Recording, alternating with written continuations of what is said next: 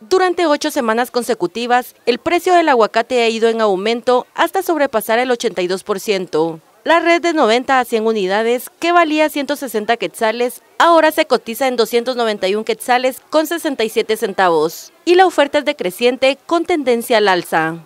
En los mercados cantonales, el precio por unidad del aguacate mexicano está en 7 quetzales y el nacional a 3 por 10 quetzales, pero el tamaño es considerablemente menor debido a la poca hidratación del fruto durante su producción. Amas de casa al ser consultadas sobre el tema manifestaron que prefieren comprar una libra de pollo nacional que tiene un precio de 11 quetzales a comprar dos aguacates de buen tamaño. Con información de Natiana Gándara e imágenes de Álvaro Interiano, reportó para Prensa Libre Hoy Gabriela López.